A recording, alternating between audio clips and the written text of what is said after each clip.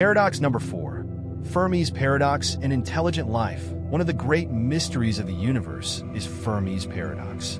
Enrico Fermi was the first to raise the question in 1950. If there are so many stars and planets in the universe, why haven't we found evidence of intelligent life?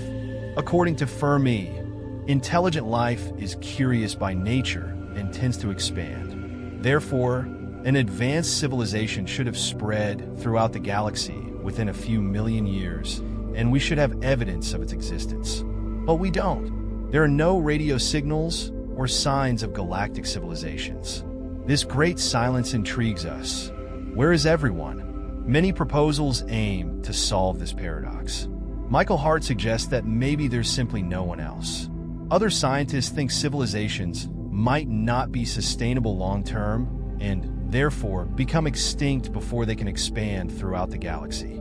Computer simulations have suggested that the galaxy could have been teeming with life at certain times, followed by intermittent periods of near emptiness. Perhaps we're in one of those empty periods, or we're one of the first civilizations to emerge. Time and great distance are key factors in this equation. It's possible that the solar system was colonized in the past, but hasn't been visited in millions of years.